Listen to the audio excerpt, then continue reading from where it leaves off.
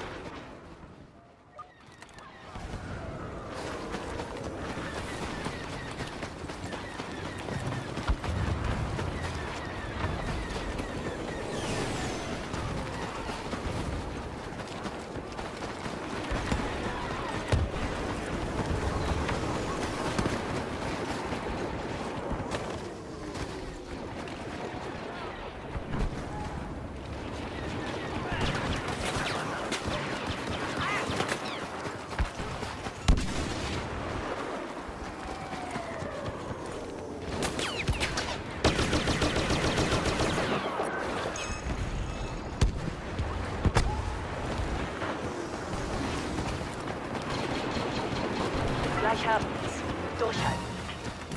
Wir haben sie zurückgeschlagen. Viel Zeit bleibt ihnen jetzt nicht mehr.